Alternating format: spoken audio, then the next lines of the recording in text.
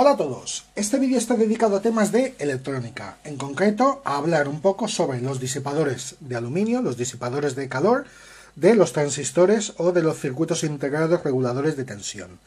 Un tema importante que supongo que más de uno no sabíais, los más antiguos o los más veteranos sí que lo sabéis, porque esto se explicaba en los institutos y los centros de formación profesional, pero hoy en día que mucha gente aprende a base de Internet, pues esto posiblemente eh, no lo hayáis visto o no se explique y es que la parte metálica del circuito integrado, del transistor de potencia, tiene que estar separada del disipador de aluminio.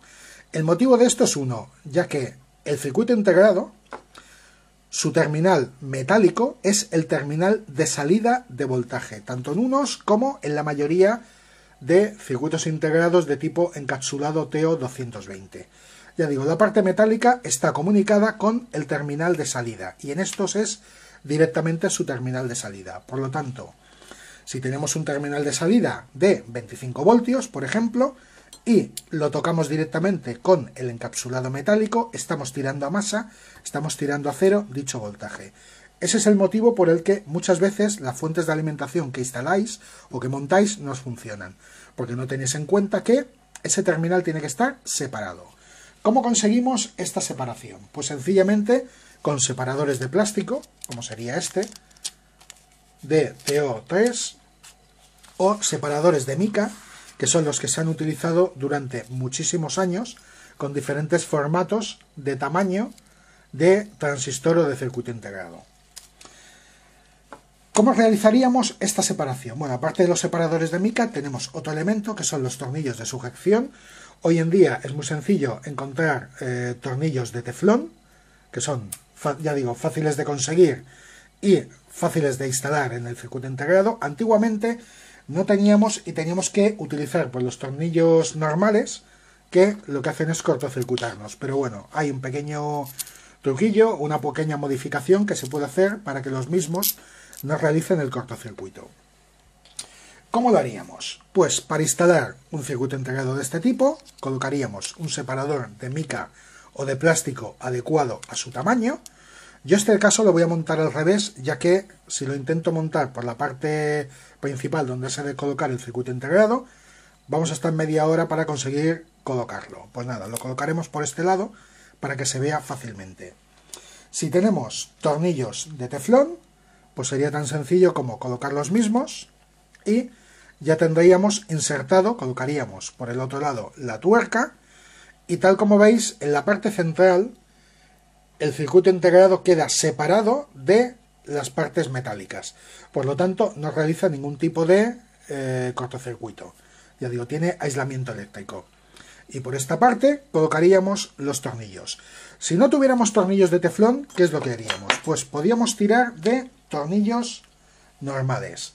El pequeño truquillo tan solo es coger un cable eléctrico del tamaño más adecuado que tengamos al tornillo que vayamos a usar, le quitamos la funda, he pelado esta, y calentando, por ejemplo, calentándolo con agua o calentándolo con una pistola de aire caliente, reblandeceríamos el plástico y podríamos insertarlo en el tornillo. Lo iríamos metiendo y haríamos una funda para nuestro tornillo metálico. En la parte superior colocaría, haríamos unos pequeños cortes al plástico que sobresaliera y nos quedaría una funda perfecta. En caso de que en la parte superior no quisiéramos colocar la funda, pues antiguamente se vendían unos pequeños aisladores que ya digo se colocaban a los tornillos y quedaban de esta manera. Si no nos bastase el agujero, pues con una broca y un taladro agrandaríamos ligeramente el agujero y nos quedaría de esta manera, sujeto nuestro circuito integrado y aislado completamente de la parte metálica. Otra opción que tenemos es utilizar macarrón termorretráctil del tamaño adecuado, este es bastante ancho, no tenía ninguno de medida pequeña ahora a mano, en lugar de el plástico que os comentaba. Si realizamos ahora la comprobación del circuito integrado que tengo instalado en la fuente de alimentación, vamos a ver cómo el mismo está completamente aislado. Comprobamos el polímetro en la escala de ohmios, vemos que da pitido y ahora comprobamos un tornillo con la masa metálica del circuito integrado. Tal como veis, no da continuidad.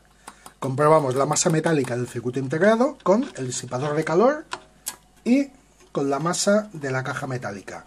Tal como veis, está aislado. Comprobamos un tornillo con el otro tornillo, vemos que está aislado. Y uno de ellos lo he aislado completamente. El otro tornillo, el aislador, lo he colocado internamente, tal como vais a ver ahora. Por ejemplo, el segundo tornillo sí que nos da continuidad, pero con la masa metálica. Dicho tornillo no nos da ninguna continuidad con las masas metálicas que tengamos al lado. Por lo tanto, en uno he colocado el, aislador por la parte exterior, en el otro lo he colocado por la parte interior de la fuente de alimentación. Pues nada, ya digo, este es un tema que antiguamente se explicaba en los institutos, hoy en día supongo que también se sigue explicando, claro está, pero principalmente está enfocado a todos los que aprendéis a base de vídeos o de información en Internet, que tengáis en cuenta este tema, que eléctricamente no podéis tener una conexión entre el circuito integrado y el disipador metálico. Tenéis que colocarle un disipador, perdón, un aislador de mica y los tornillos aislados adecuados para sujetar vuestro circuito integrado. Si no, tiráis a masa el voltaje de salida del mismo y por lo tanto no os funcionan las fuentes de alimentación. Espero que os haya... Bueno, otra opción sería, que no lo había comentado, y es que si no habéis aislado el circuito integrado del aislador de aluminio, os obliga a que el aislador sí que esté completamente aislado, separado eléctricamente de la carcasa metálica o del resto de la placa que tengáis. Tenemos las dos opciones, aislar solamente el circuito integrado o aislar el disipador de aluminio. Es un poco más complicado, pero es mucho mejor aislar el circuito integrado. Pues nada, espero que os haya gustado el vídeo, que os sirva de utilidad. Un saludo para todos.